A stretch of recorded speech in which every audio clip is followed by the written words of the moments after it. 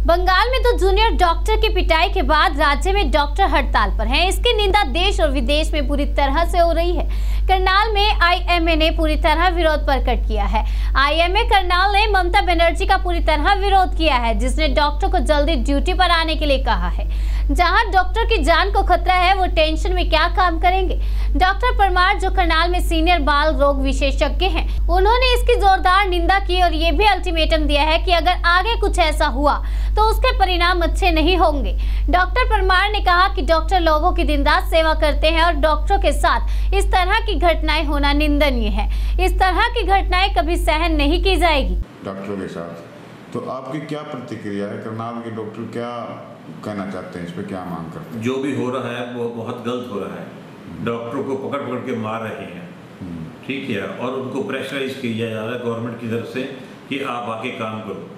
जिनकी डॉक्टरों को जान को खतरा है वो वहाँ कैसे आके काम करेंगे? जिनके खुद को खतरा है।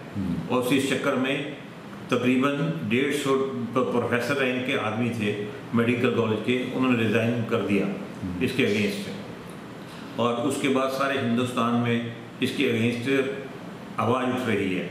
और दिल्ली और मुंबई में तो बहुत बुरा हाल हुआ है। बम्बई में भी सारे हस्पताल बंद रहे और दिल्ली में भी बंद रहे। दिल्ली में एम्स में भी काम ठप रहा। और आज भी दस हज़ार डॉक्टर स्ट्राइक पे हैं दिल्ली में। जो 18 कॉलेजेस हैं वहाँ पे हॉस्पिटल उनके दस हज़ार जूनियर रेजिडेंट वो स्ट्राइक पे हैं।